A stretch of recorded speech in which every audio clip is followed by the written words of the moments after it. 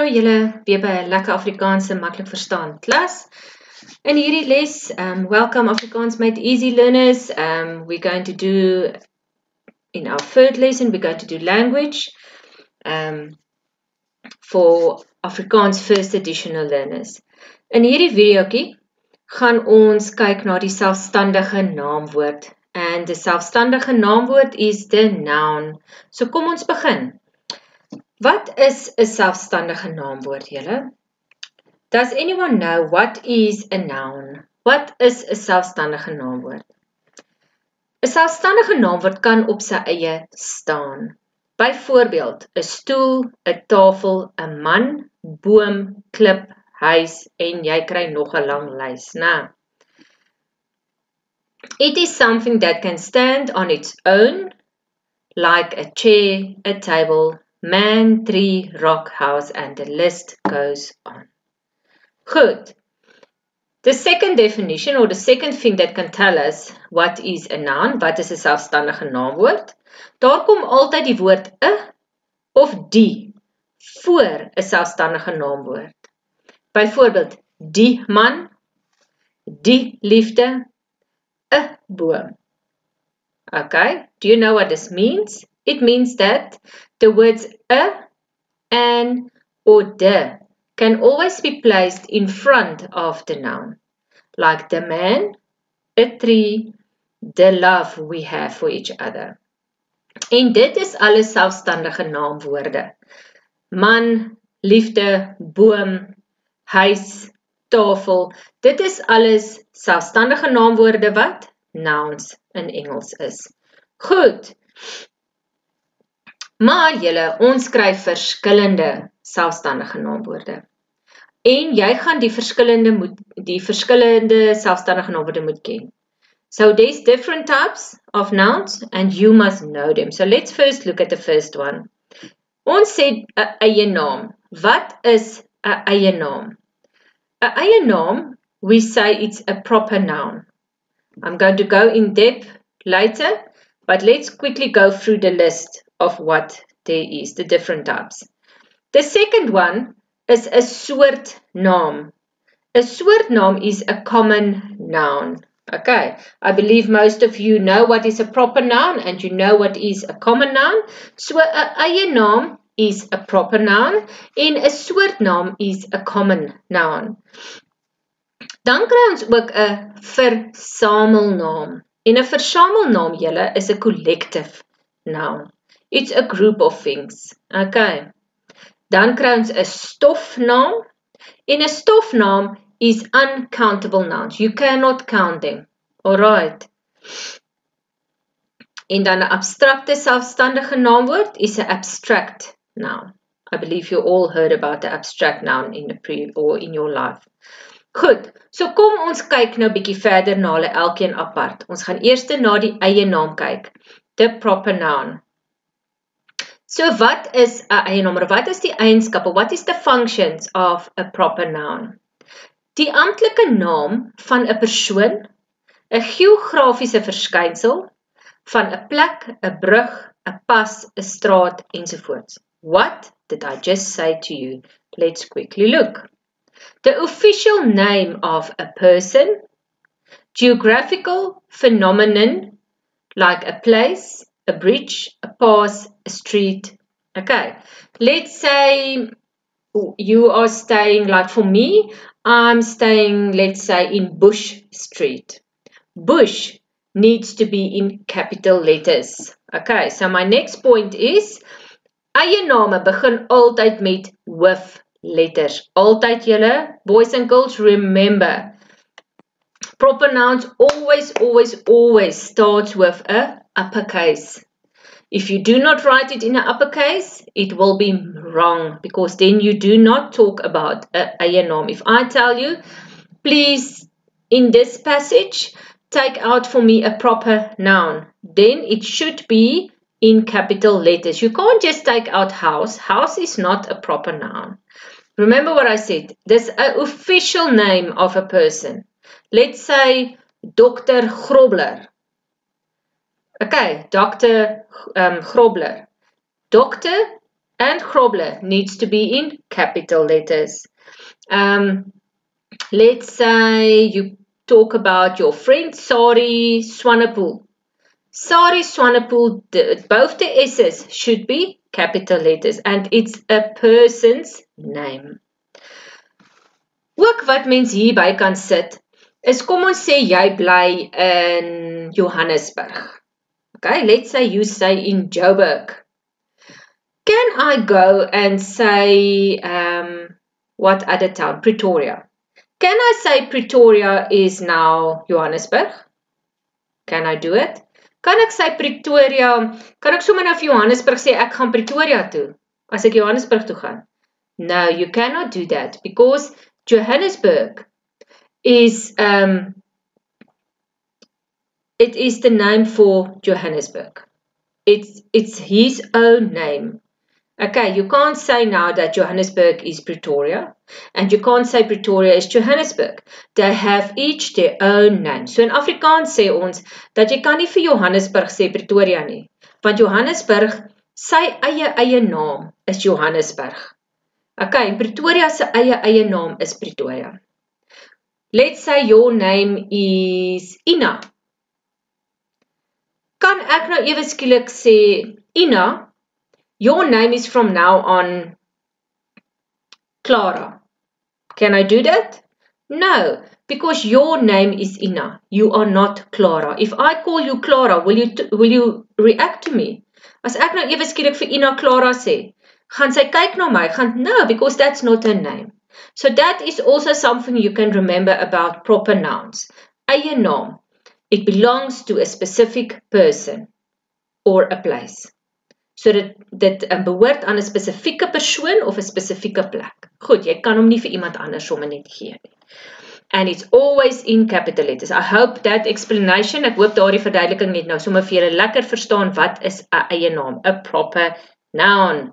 Alright. Here is an example. Kom ons kyk lees bietjie. Hoërskool Strand is op die hoek van Sarel Silje Straat en aerodrome weg. Leerders van HS noem hulself arende en trotse arende dra op Dinsdae hul skoolbaadjies vir sal. So if we do it in English, Strand High School is at the corner of Sarel Silje Street and Aerodrome Road. SAS SHS learners call themselves Eagles, and proud Eagles wear their school jackets for, the, for hall on Tuesdays. Alright, so kyk hierso, hierdie is eie name, eie name, eie name. Daai is eie name because it stands for Hoërskool Strand, Arende, Arende en Dinsdae because Dinsdae, Tuesdays, it's a name of the week. And also months, boys and girls, months on the calendar, January, February, January, February, March, always in capital letters. Dis 'n eie naam because it belongs to that month and like Dinsdae it belongs to that day. I can't go and say now Woensdag is sommer nou Dinsdag nie, nou. So, onthou asseblief eie name, it belongs to a specific place or person en dis altyd met hoofletters. Goed. Kom ons beweeg na die volgende enetjie en dit is soortname. Nou what is 'n soortnaam? It's a common noun. Wat is 'n soortnaam? Kom ons kyk bietjie. Die woorde waarna ons verwys is dinge wat gesien en aangeraak kan word. So we can see them and we can touch them. So it's things that we can see, touch, feel, taste. Okay, let's say you like water and um, you drink it out of a bottle. So the bottle is a common noun. So water is nie 'n soort naam nie. Dit is 'n um, stofnaam Maar die bottel waaruit jy die water drink, julle, is 'n soort naam. It's a common noun. So die waterbottel, you can see it, you can touch it. If you put it in your mouth, you taste the bottle. Nou. Goed. Nog 'n eienskap, another function of 'n soortnaam, die woord kan in 'n vorm van 'n meervoud, 'n verkleining geskryf word. So it can be written in plural form. Okay. Remember in English you don't say it's a it's a curry um or what uh treetjie. You don't say that. You say it's a small tree. Maar in Afrikaans sê ons dis 'n boompie. Okay. So that's one for a common noun. You can put it in plural form. You can put it in more than one. All right. Dan 'n lidwoord, die en 'n kan voor die soortnaam geplaas word. So the words, the articles, the, a and an can be placed in front of the word. Let's quickly look at this example. Buite in die tuin het ons 'n waterpoeltjie met visse in. My boetie moet vir die visse kos gee en ek moet die poeltjie gereeld skoonmaak. So all these that was underlined tells me that this is common nouns. Or it shows, no, no, no, it shows me that here is an article, a lidwoord wat voorgesit word. So garden, tuin, is a, and a water pool, a small water pool, fish, fish here as well, and in the pool, they are all common nouns. So die tuin, ek loop in die tuin buite. Ek kan hom sien, ek kan hom voel, ek kan aan hom ruik. So you can feel and touch the garden, né? Visse, you can see them, you can touch them, the fishes, né? booty, touch your brother. You can see it, you can touch it. So that's also a common name. Here are some examples tafel, stoel, kas, pen, dam, fiets, bank, dogter, seun. So what does these words mean? Table is a tafel. Tafel is a table. Stoel, chair. Kas, it's a closet. Pen, it's my pen. Dam is a pond. Fiets is my bicycle. Ek sit op die bank. I sit on the sofa. Dogter your daughter. Seun, son, vrou. Um, a vrou is a woman. Here are some examples. Boys and girls, please also like the um, eie name, the proper nouns. Also for the soort name, the common nouns, please, please practice them, learn them by heart. You need to make sure that you know how they fit in a sentence. If I ask you to take them out of a paragraph, you need to can tell me what is a soort naam. Wat is 'n eie naam? The next one we're going to look at is versamelnaam. You need to be able to tell me what it is in Afrikaans. Goed. So kom ons beweeg aan na die volgende enetjie toe. As ek net weer hierso gaan kyk julle, onthou hierso dat dit is woorde wat verwys na goeders wat jy kan sien en aanraak. So it's words that you can touch and feel. You can put them in plural form. You can put the articles in front of them. That is tips that needs to help you to see them. So learn these in Afrikaans, leer hierdie in Afrikaans sodat jy dit in Afrikaans kan toepas. Okay. As ons nou aangaan na die versamelnaam, um collective nouns. Collective nouns boys and girls is goeders wat jy in 'n groep sit. You you group them. So soortname, dit is soortname. We just learned what is soortname. Soortname is common nouns which is things that you can see, you can touch, you can feel. So you take a um let me read this. Soortname wat 'n nuwe funksie verrig en daarom 'n nuwe naam kry. Dit word gebruik om 'n ander selfstandige naamwoord te meet. So you measure another noun. So common nouns that perform a new function and therefore get a new name. Common noun and mass nouns, it is used to measure another noun. OK, ek gaan vir julle nou meer verduidelik as jy dalk nie verstaan nie. Kom ons kyk na die volgende enetjie. Ons kyk eers na hom. Ek het 'n boks perskes, 'n emmer vrugtekoekmengsel, 'n liter melk by Pick n Pay gekoop. Julle hier kan ons sien dat boks is 'n soortnaam.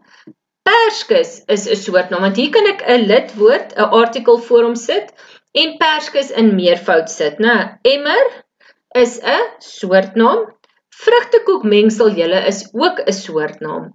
Liter is 'n um, 'n stofnaam of liter is 'n measurement en melk is 'n fisies jy kan hom sien, drink alles, né? Dit is 'n soortnaam.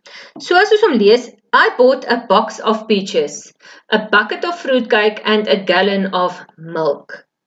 sien julle hier dat ek dit gegroepeer, maar ek het 'n soortnaam gebruik saam met 'n soortnaam. So hier gee ek vir jou die prentjie dat it's a box of peaches, but box is a common noun and peaches is also a common noun but now they have a new function. Hulle het 'n nuwe funksie nou verrig. sien jy? So hier kan jy nou sê dis 'n boks perskes, 'n emmer vrugtekoekmengsel, a bucket of fruitcake mix. So you it, you already see it's big. It's just it's not just a um a fruit a fruitcake mix. It's a bucket full. Then you have a gallon of milk. You don't only have a cup of milk, or you don't only have milk, it shows you how much you have. So it puts it in a function, puts it in a group. Okay. Because a box of peaches are more than one peach together. So that's why it there's a group. It's a group of peaches together. Dan kry ons 'n skoolvisse 'n swerm bye, 'n kudde bese, 'n groep van een soort bymekaar, just like I explained to you now. A school of fish, a swarm of bees, a herd of cattle. It's a group of things grouped together. So you must always look for something like that. A collective noun is a group of things together. So it's a groep goedjies bymekaar. It will it um it won't only show you one like a soort. It's one but it can be placed in a plural. In this instance, perskes, but now it tells you directly how many. Okay. Goed. As ons verder aangaan, julle kyk ons nou na die stofnaam. And stofnaam is part of the uncountable nouns. Let me explain to you why. Die woorde wat verwys na vaste stowwe, metale, gasse en vloeistowwe wat gemeet maar nie getel kan word nie. Julle, you can measure it, but you cannot count it. Jy kan nie vir my water. You cannot count water. Can you? No. Sand, the sea sand. Can you go and count the sand? No, you cannot go and count it. But you can measure it. It's a bucket of sand. It's a mug full of milk or water, but you cannot count them. So they are uncountable. But like I said, um, stofname is things that comes out of the earth, boys and girls, like diamonds. I'm going to show you later on examples. Another thing is, voordat jy die goud en die diamante in die natuur kan by uitkom, moet jy eers deur tonne sand grawe om selfs deur en ook soms deur megaliters water sif voor jy by goud of diamante kan uitkom. So what I say here is before you can get to the gold and diamonds in nature, you have to dig through tons of sand or even sift through megaliters of water before you can get to the elements or um the metals, né? Goed. Tydens die asemhalingsproses jou ehm um, so we gaan doen. Tydens asemhalingsproses verbruik jy baie suurstof en asem jy baie koolstofdioksied uit. What I mean here is during the breathing process like breathing process, you consume a lot of oxygen and you exhale a lot of carbon carbon dioxide. Does it make sense? And you can, cannot count them. Can you count them? No, you cannot count the oxygen or the carbon dioxide that you inhale and exhale. You cannot count them. So they are part of uncountable nouns. They are part of stuff stofnaam. Because it's a gas. It um, vipers in the air. Okay. Voorbeelde is soos goud, silwer, koper, diamante, steenkool. In English, Goud is gold. Silver is silver. Koper is copper. Diamante is diamonds and steenkool is coal. All right. I believe you guys heard before of these examples. Remember, stofname, they are uncountable uncountable nouns. You cannot count them. Goed, maar hulle kom uit die natuur. They come out of nature. They come out of the earth. All right. Dis stofname. The next one and the last one that we're going to look at today is abstrakte selfstandige naamwoord. Abstract noun. I believe more of you or most of you know what is an abstract noun, but let's quickly look. Okay, dis naamwoorde wat gevoelens, toestande en abstrakte konsepte verduidelik. If I look like this, how do I look? I look very cross now. And that is a abstract noun. When you are feeling angry or you're feeling happy, it is an abstracte selfstandige naamwoord, an abstract noun. So nouns are feelings, conditions and abstract concepts. Goed. Die samekoms was nie suksesvol nie want die deelnemers kon nie hul woede en frustrasie beheer nie. The gathering was not successful because the participants could not control their anger and frustration. They felt angry, they felt frustrated because something was not nice. And you could see that. So it is an emotion, a feeling, a condition that we can see. We cannot touch it. You cannot touch anger. Can you touch it? No, you cannot physically touch it, but you can see it. All right. So dit is die name van dinge wat ons nie kan sien, voel, ruik, proe of hoor nie. But you can see um the facial things, but you can't physically physically see anger. You can see when someone is feeling angered. Then that is 'n abstract noun. Goed, wanneer iemand hartseer is, vrees, geluk of woede, when someone is hurting, um sad, in fear, happy and very angry. Okay, dan dit is abstrakte selfstandige naam word abstract noun. It is names of things that we cannot see, feel, smell, taste or hear. You can see when someone is, but you cannot physically see anger. You cannot physically see um, sadness. Physically, the thing you can see when someone shows that, but you cannot physically see it. You don't feel the pain that someone else is feeling at that stage. So you can't even feel it. Now, they do not have a plural form. So you cannot put it in a plural form. Like for, for short name, common nouns, you can put them in plural form. Abstrakte selfstandige naamwoorde julle, jy kan hom nie in 'n meervoudsvorm sit nie. You cannot put them in a plural form. All right. This concludes now um the lesson for self um please go and learn them, practice them. Um make sure you understand them and then we will see each other in the next lesson. You must have an awesome day and yeah enjoy afrikaans asseblief leer hierdie goedjies sodat jy sommer maklik jou sinne en jou paragrawe en lees vir jou sal maklik maak in afrikaans. Jy moet 'n wonderlike awesome dag hê totsiens